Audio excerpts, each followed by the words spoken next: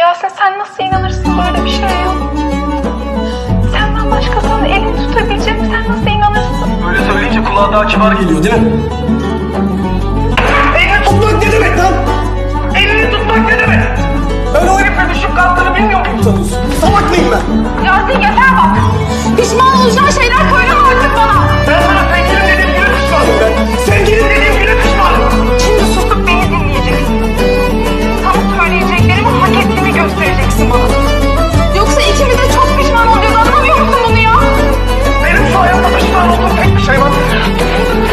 Yeah.